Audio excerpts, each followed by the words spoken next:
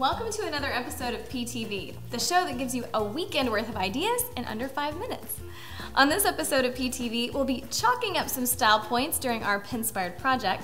We'll be introducing you to an extremely Pinteresting individual during our Pinteresting People segment, recommending a great celebrity pinner to follow during the Celebrity Pin of the Week, and finally, I'll be sharing some of my personal sources of inspiration during our Pinterest Pirate segment. So without further ado, let's jump into things. Chalkboards. They've been replaced these days by dry erase boards, overhead projectors, and fancy monitors, so I found myself feeling a little nostalgic when I came across a clever idea on Pinterest for decorative chalkboards. These boards are attractive, easy to make, and most of all, functional.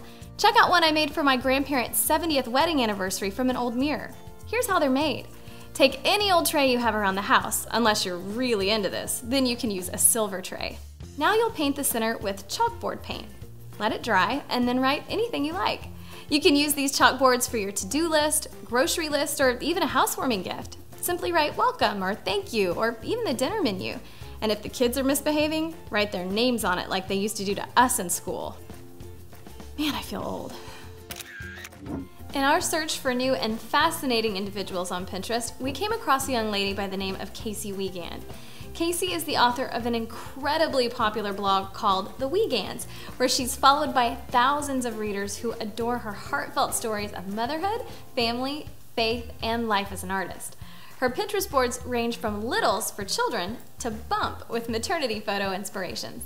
And as a busy mother, her dinner board showcases the best and easiest in dinner ideas with delicious things like baked potato pizza.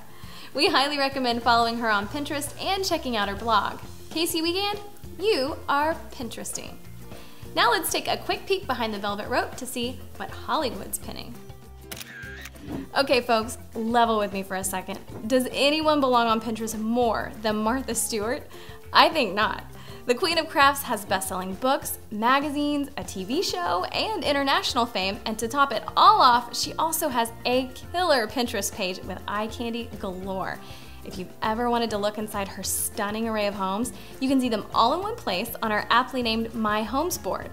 But the best ideas come from her sewing board, where you can learn how to create a stuffed bunny made from upcycled men's shirts. It's a good thing. You know you want to, and I can't blame you. Go check out Martha's boards.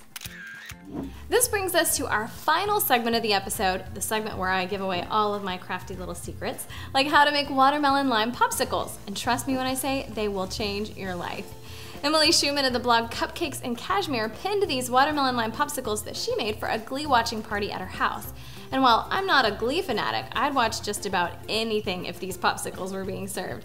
They're perfect for a party or just a warm summer night. Thank you, Emily Schuman and CupcakesandCashmere.com. You have officially been pirated. Well, we've come to the end of this episode of Pinterest TV. If you're interested in being featured on PTV, hit us up at PinterestTV.com. And you can also connect with us on Facebook and Twitter. See you next time.